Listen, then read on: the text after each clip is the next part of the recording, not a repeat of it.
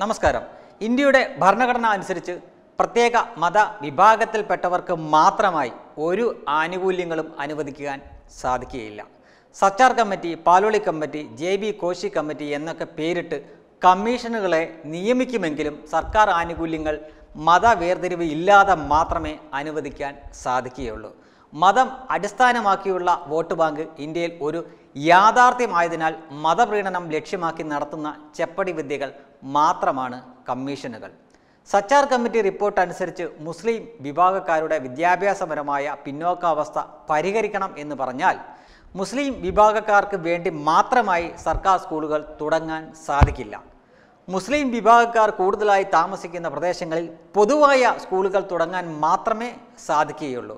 സർക്കാർ ജോലിയിൽ മുസ്ലിം വിഭാഗക്കാർ കുറവാണെങ്കിൽ അതിന് വേണ്ട കോച്ചിംഗ് നടത്താൻ വേണ്ട സ്ഥാപനങ്ങൾ മുസ്ലിം വിഭാഗക്കാർ കൂടുതലായി ഉള്ള പ്രദേശങ്ങളിൽ പൊതുവായി തുടങ്ങാൻ സാധിക്കും.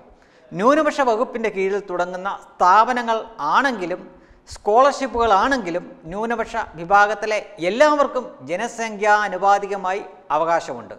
ഒ ബി സി വിഭാഗത്തിൽപ്പെട്ടവർക്ക് വേണ്ടി അനുവദിക്കുന്ന ആനുകൂല്യങ്ങളിൽ മതവ്യത്യാസമില്ലാതെ ഒ ബി സി വിഭാഗത്തിൽപ്പെട്ട എല്ലാവർക്കും ജനസംഖ്യാ ആനുപാതികമായി അവകാശമുണ്ട്. മുന്നോക്ക വിഭാഗത്തിലെ സാമ്പത്തികമായി പിന്നോക്കം നിൽക്കുന്നവർക്ക് വേണ്ടിയുള്ള ആനുകൂല്യങ്ങളും പൊതുവായി മാത്രമേ അനുവദിക്കാൻ സാധിക്കുകയുള്ളൂ.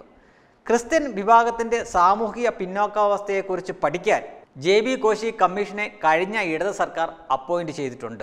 ജെ ബി കോശി കമ്മീഷന്റെ റിപ്പോർട്ട് അനുസരിച്ച് ക്രിസ്ത്യൻ വിഭാഗത്തിൽ കൂടുതലും കർഷകർ ആയതിനാൽ അവരെ സഹായിക്കാൻ വേണ്ടിയുള്ള പദ്ധതികൾ ചിലപ്പോൾ പ്രഖ്യാപിച്ചേക്കും. ക്രിസ്ത്യാനികൾക്ക് മാത്രമല്ല കർഷകരായിട്ടുള്ള എല്ലാ മതവിഭാഗത്തിൽപ്പെട്ടവർക്കും അതിന്റെ ഗുണം ലഭിക്കും. റബ്ബറിന്റെ മൂല്യവർദ്ധിത ഉൽപ്പന്നങ്ങൾ ഉണ്ടാക്കാൻ വേണ്ടിയുള്ള ഫാക്ടറികൾ സർക്കാർ ഉടമസ്ഥതയിൽ തുടങ്ങിയാൽ അതിന്റെ ഗുണം റബ്ബർ കർഷകരായിട്ടുള്ള എല്ലാവർക്കും ലഭിക്കും.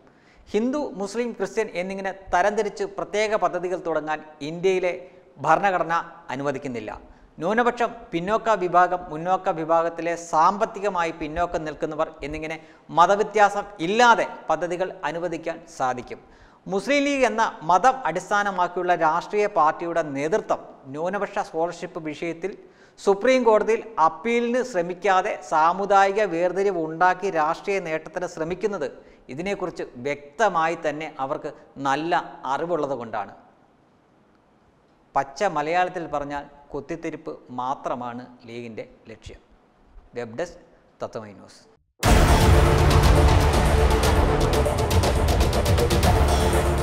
Tatwamayi ചാനലിന് ഞാൻ എല്ലാ വിധത്തിലുള്ള ഭാവുകങ്ങളും നേരുകയാണ് ഇതിന്റെ പിന്നിലുള്ള വിദഗ്ധകരങ്ങൾ എന്റെ ഏറ്റവും അടുത്ത സുഹൃത്തിന്റെതാണ്.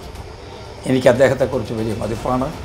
ജേർണലിസം രംഗത്ത് ശ്രീ രാജേഷ് പിള്ള റെക്കോർഡുകൾ ഉണ്ടാക്കിയിട്ടുള്ള വ്യക്തിയാണ് എന്നെനിക്കറിയാം.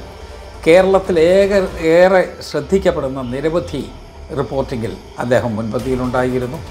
അദ്ദേഹത്തിന്റെ എല്ലാ ടാലന്റും ഇതിനകത്തുണ്ടാകും എന്ന് ഞാൻ പ്രതീക്ഷിക്കുന്നു. ശ്രീ രാജേഷ് പിള്ളയുടെ വിദഗ്ധമായ കരങ്ങളിൽ ഓൺലൈൻ പ്രോഗ്രാം വളരെ നന്നാകും എന്ന് ഞാൻ പ്രതീക്ഷിക്കുകയാണ്. ഞാൻ എല്ലാ ഭാവുകങ്ങളും നേരുകയാണ്